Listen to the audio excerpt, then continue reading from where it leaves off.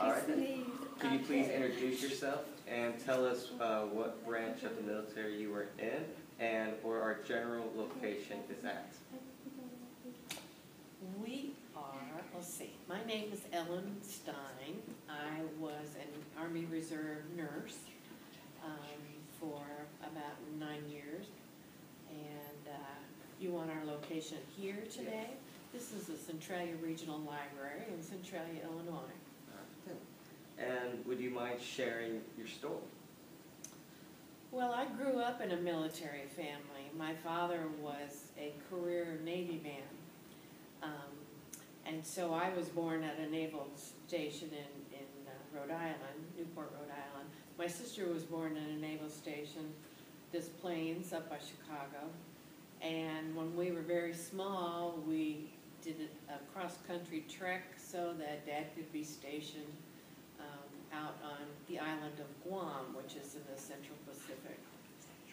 Um, I did my first school years on Guam, and we lived on a house on the base. It was a very unique experience I found from when I came back to the United States. Guam was lush and tropical all the time. Um, and we were officers' kids, so we learned how to curtsy. We had a servant or two. We uh, answered the telephone in a very strict way, those sorts of things. Uh, we took hula lessons, and we danced for the ships in the harbor. My father was um, part of the military sea transportation service on Guam, and so our little hula troupe danced for all the incoming ships. I started school on Guam, uh, on the military base, and it was very different when I came back to the States then. Dad decided to retire from his um, naval career when I was about eight. And so we flew from Guam to Hawaii to San Francisco. And uh, I remember thinking that as we flew east, we had to cross the international date line. So when I kind of woke up and it was uh, early in the morning, I said, Happy Valentine's Day to my mother, and she said, no, we crossed the international line, so you'll have to wait another day to say Happy Valentine's Day.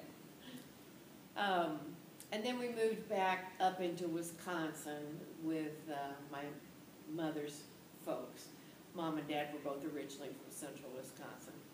And jobs trickled us down into northern Illinois, my father, and so I completed my high school and college education in Illinois. The real civilian world was a lot different than the military world. The military world was um, ordered, predictable.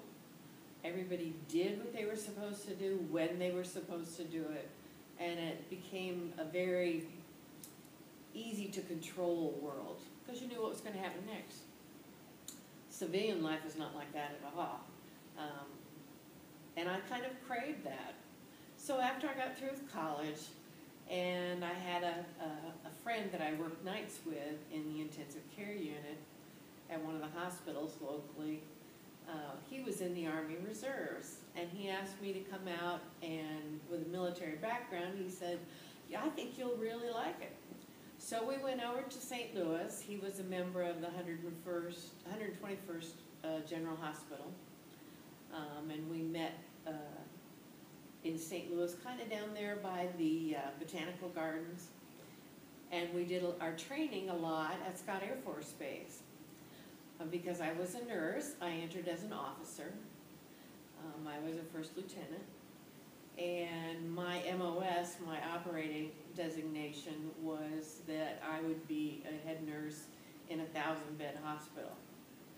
Well, of course, you can't just make a thousand bed hospital. That Barnes at that time was a thousand bed hospital, so you can see the size.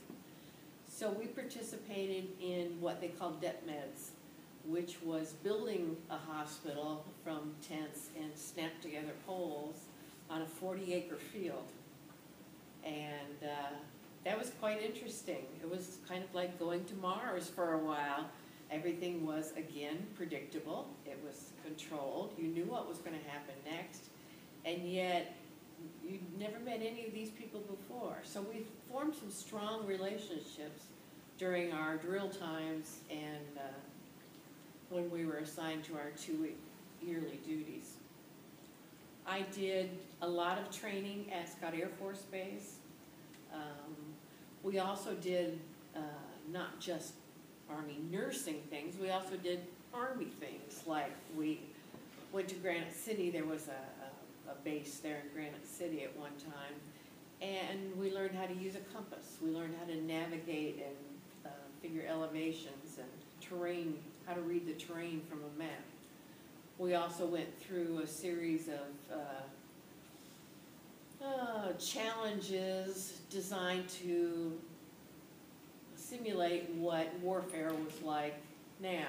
For example, um, learning how to use a gas mask and going into a gas-filled room, um, and being able to deploy your gas mask, walk out of the room, and take it off all in one piece. That was kind of interesting. I had very long hair back then, and I kind of coiled it around my head, because you couldn't have it, let it touch your collar. And uh, when I started to take my gas mask off, uh, my hair got tangled up in my gas mask, and so the flap came over, so I was in complete darkness, and I couldn't get the mask off the back of my head because it was tangled in the hair and bobby pins. And so that gave me just a little taste of what claustrophobia was like. I'm not claustrophobic, I never have been, but I did feel that instant of fear. And uh, that was a real growing experience for me, to be able to feel what some other people um, are afraid of, something that I don't normally come into contact with. We also had training exercises where we went up in the helicopters and retrieved wounded soldiers out in the field. So that as we trained with all these different scenarios, when you do it more than once, when you do it more than twice, it gets to be second nature to you. So if we were to be deployed, um, either stateside or overseas, we would have the same skills that a regular Army nurse and medical company would have. Um, so we could just slip right in and take their spots over. Then Desert Storm came. That was in the early nineties. And I was all prepared to go. Uh, my husband and I talked it over and I had a little boy by that time. And, um, yeah, we were gonna let me go. I felt a real strong urge to serve my country. I felt that I could be useful in the field. But at that time, the US Army was taking people that were assigned on base inside the United States and sending them overseas for Desert Storm and using reservists, like myself, to fill in those, um, in the United States positions. So I was, um, transferred to Fort Sam Houston in Texas and worked in the hospital there. I also did a couple of weeks of uh, basic officers training, which I hadn't had a chance to do. That was a lot of fun. San Antonio was a place I'd never been before. Um, I remember in the early morning when I would wake up, you could hear the soldiers marching around the uh, base with their Jody calls. That's the ones that uh, they make up that rhyme, that they all march in step with. Some of them were pretty bawdy.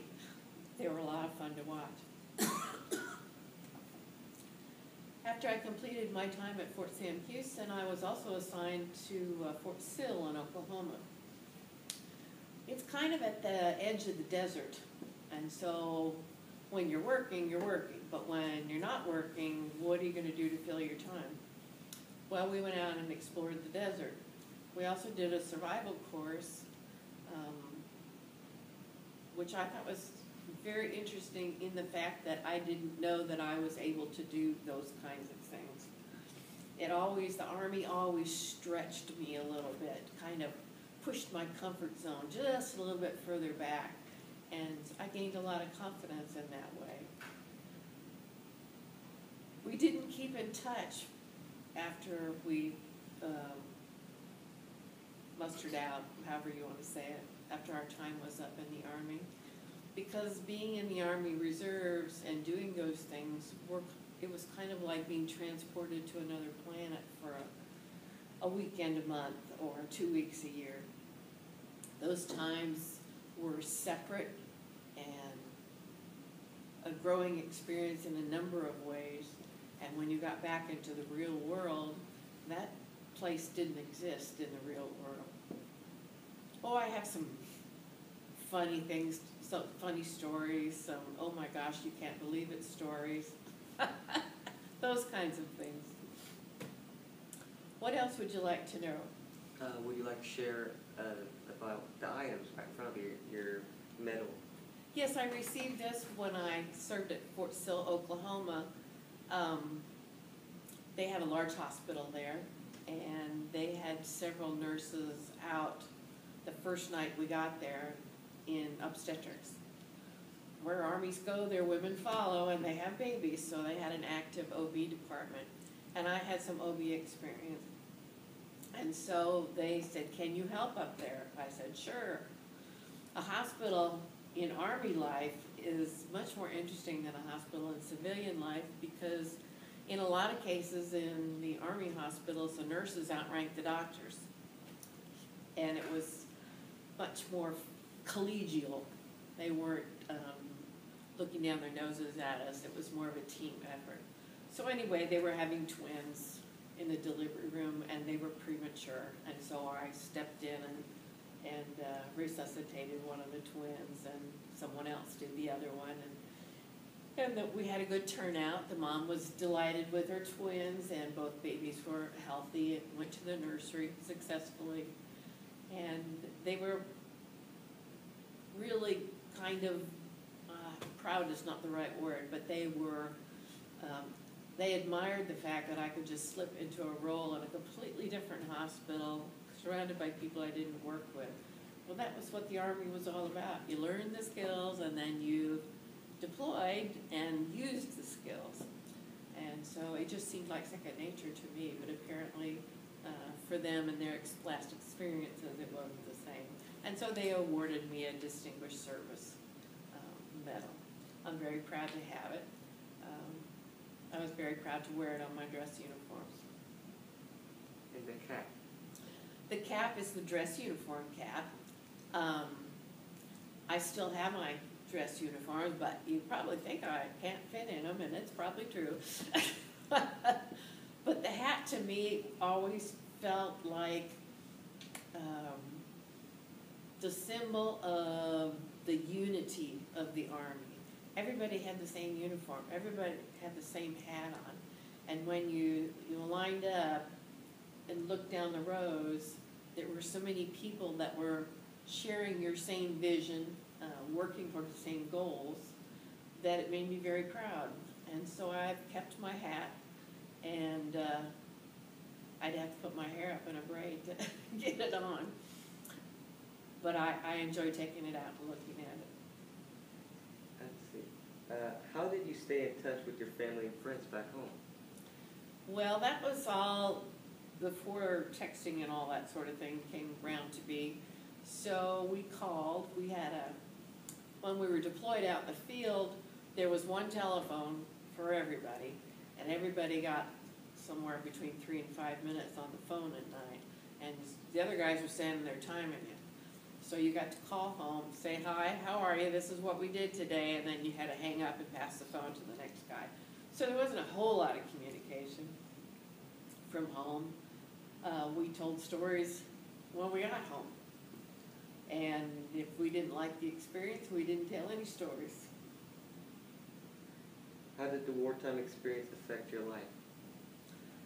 As I said, I think it gave me a lot of confidence uh, to believe in myself to do things that I didn't think I was able or capable of doing. Um, it took the fear out of, of being in unfamiliar situations. Um, I enjoyed the studies because it kind of expanded my horizons. Um, if I were young enough again, I would go back and do it all over, hopefully to get deployed somewhere. Not as lush and tropical as Guam, of course, but I, I would still go out and serve my country if they called me. Is there anything you feel like we haven't discussed or should be added to this interview? And if so, what?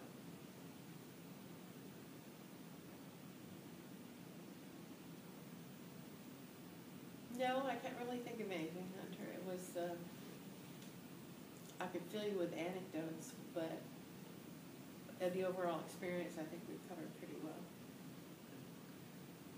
Do you have, do you wanna say anything, guys? Thank you. Well, thank you, Ellen. You're Thank you. welcome, Hunter. Good luck. What's